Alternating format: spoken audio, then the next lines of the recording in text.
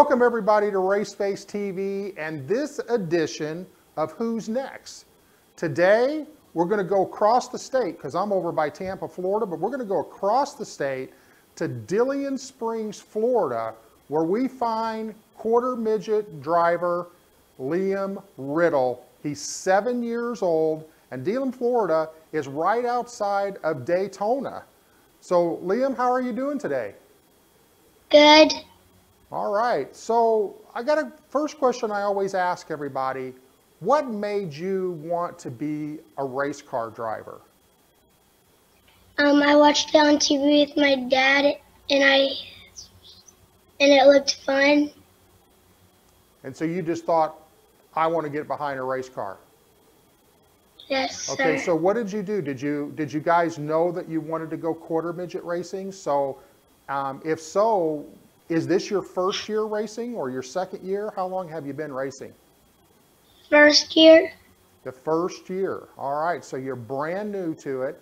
And how did you stumble upon the quarter midget ranks? Did you have some friends that were racing that, or just do some? yes. You had some friends that were racing quarter midgets. So, My um, go ahead. my neighbor, Your neighbor runs quarter midgets. All right. So, what's the name of your local club? Little New Smyrna. You're at Little New Smyrna. Okay. You know that's a very historic track there in New Smyrna, Florida. Yes, sir.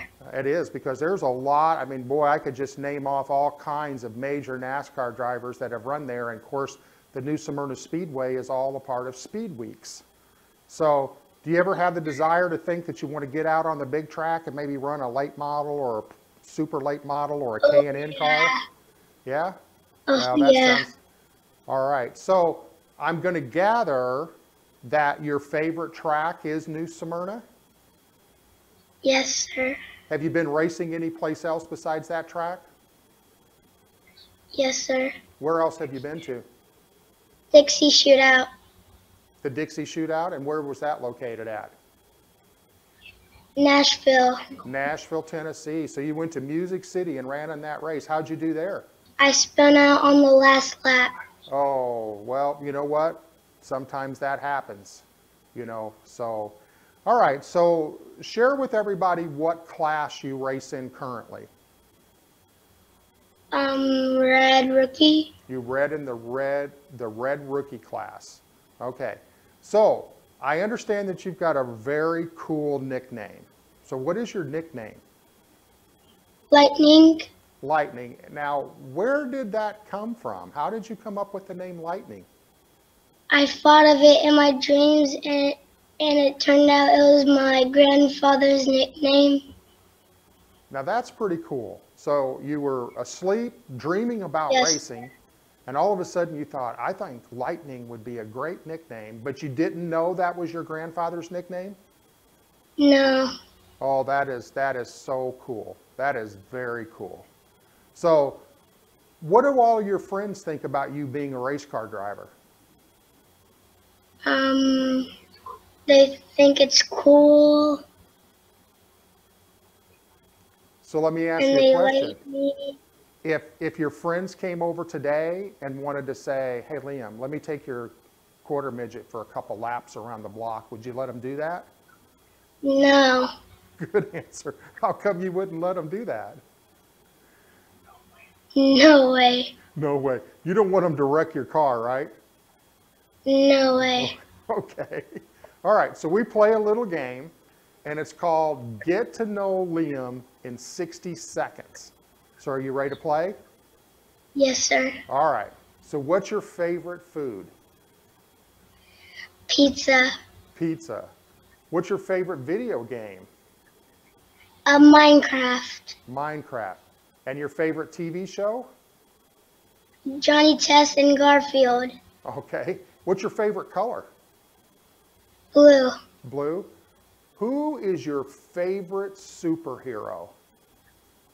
H- Hulk Smash. Okay. And what's your favorite subject in school? Math.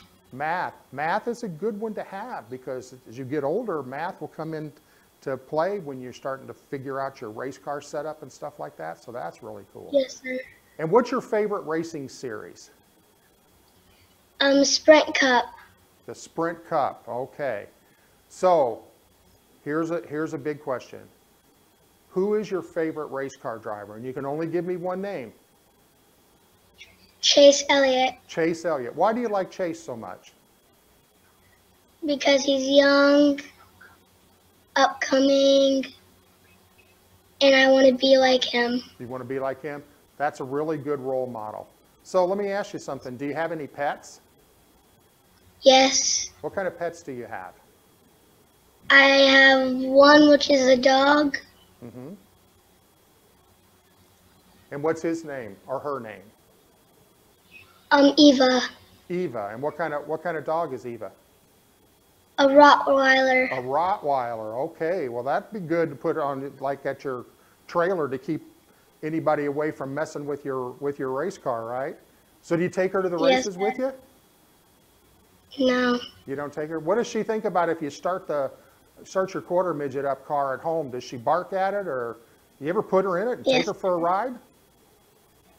Yeah, no. I mean, No, you didn't take her for a ride. I think a Rottweiler would like a ride. You know what? I used to have a Doberman, and man, he thought when the truck left, he was supposed to be in it and hanging his head out the window. That would be a cool video. You put you put Eva in the quarter midget, and and then let her kind of stick her head out the window and take her for a couple laps. Okay.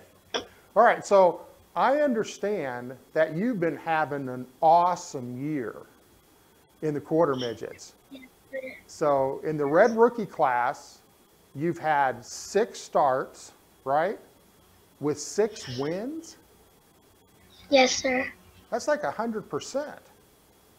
I don't know of a Yes, lot of race car drivers that are 100%. So how many more races do you have this year? Um, I think five. Five more races? You think you can go 11 for 11? I hope so. You hope so? Okay. So once you once you leave Red Rookie, where do you go from there? What's the next class that you would move up to? Blue rookie. To Blue Rookie. So you planning on doing that next year or maybe later this year or Later this year. later this year? I think that's a good idea because once you once you get to a point where you're winning everything, we still want to challenge you as a race car driver, right? You want to you want to go out there Sure. going, okay, now I need to beat people that's got more experience than me. So I- me, I practice blue plate all the time. You do. That's good. That's great in your development stage. So just share with us what was it like to win your very first race? Awesome. It was awesome. So do you remember that? I mean, remember getting the checkered flag and being able to make a lap around the around the track? Is that not that's not the Yes, neatest thing in the world, is it? Yes, sir. And your first win was at New Smyrna? Yes, sir. So did you do any burnouts or did you do any donuts or anything like that to celebrate? No? All right. Well, that's good because I've interviewed a couple of kids that said that their first race they tried to do something goofy and end up crashing. And one kid said the checkered flag flew across his face and he couldn't see and he ran into the wall. So you had a perfect victory lap as well, right?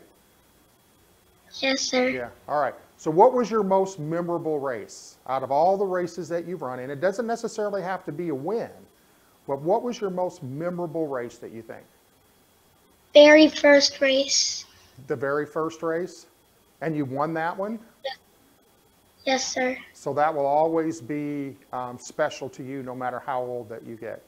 So Yes, sir. I know that all race car drivers have to make sacrifices because a lot of times your racing schedule don't allow you to be able to, you know, go to parties and do stuff like that. So what are some of the sacrifices that you've made to be a race car driver? A lot of practice. A lot of practice. The practice is good. So all this practice and the things that you've given up and stuff like that, is it all worth it? Oh, yeah. Oh, yeah. All right. So who are your biggest supporters? Um, my mom, my dad, and my coach, Paul. Your coach Paul.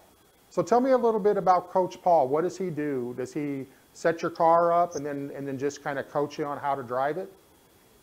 He trains everybody. He trains everybody. Okay.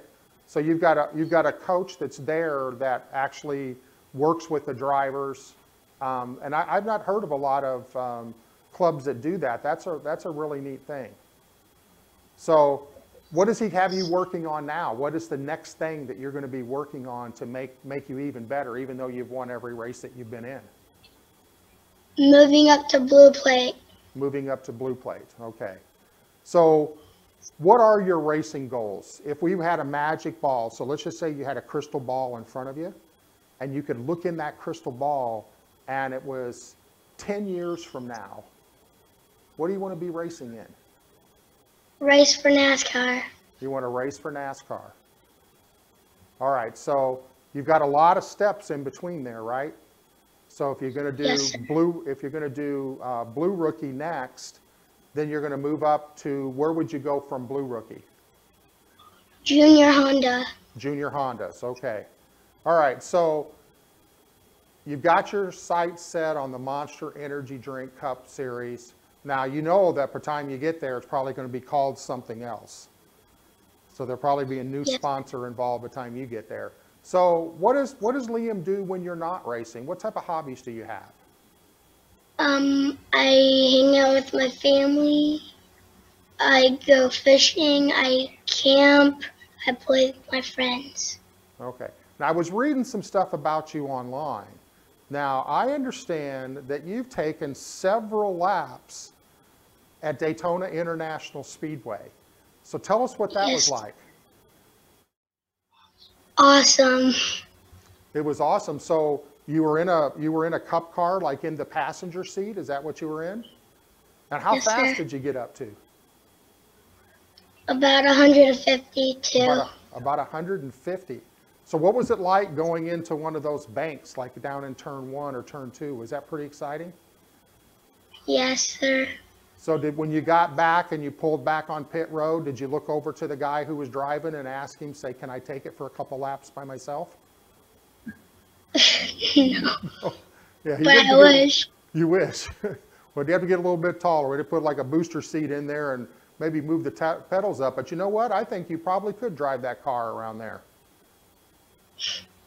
So you got something big to look forward to um, as far as your racing career. Um, now I want you to tell us something about you that maybe a whole lot of people that are viewing the show tonight wouldn't know about Liam. What do you want people to know about you? I snore. You snore. so let me, I mean, I, I got to ask this question. Does Eva sleep in the room with you? No, sir. No, she doesn't? Because I know my dog snores. So why do you think you're snoring? Well, I hear her sometimes. Yeah. And so does people not like to sleep in this, like if you go out on, on, on race weekends and you have to stay in the hotel, does other people not like to sleep in the room with you because you snore? Mm, What? Er, repeat that? I said, when you, if you're out on the road and you're in a hotel room like that, do, do people not like to sleep in that room because you snore? No. You know what the snoring I think is? I think it's the subconscious making you sound like a race car. Yes. There, that, we- we'll, we'll go with that anyway. So, do you have any sponsors on your car that you want to give a call out to? No. No sponsors yet. Okay, well, sponsors, if you're a business owner out there and you're in the New Smyrna area, here's a young racer you might want to get hooked up with. Get your name on his car because, I mean, he's 100%. Six starts, six wins. So, Liam, let me ask you, do you have, um, I know that you have a, do you have a Facebook page? Um, yes, sir. You do? Okay, and, and what is that? Do you know what the, I know your dad's in there with you. Go ahead. Lightning Liam Riddle. Okay. All right. Very good. Well, Liam, I want to thank you for being on our show. And I hope you Thank have, you so much. you're more than welcome. I hope you have a great rest of your 2018 season. And I'm going to ask you a question. 32. If you go 11 for 11, Will you come back on the show? Yes, sir. You will? Okay. Well, again, thank you for being with us. Now, everybody, there you've got it. Mm-hmm. Young Liam, he's over by New Smyrna Speedway, uh, right outside of Daytona, an up and coming quarter midget racer. I mean, what can we say? The kid's six for six. And I've got a feeling that he may just hit that 11 for 11. So I want to thank all of you for tuning in, and I invite you to be back here in two weeks as we have another young driver that we classify as who's next. So everybody go out and support local racing in your community, and we'll see you back here in two weeks.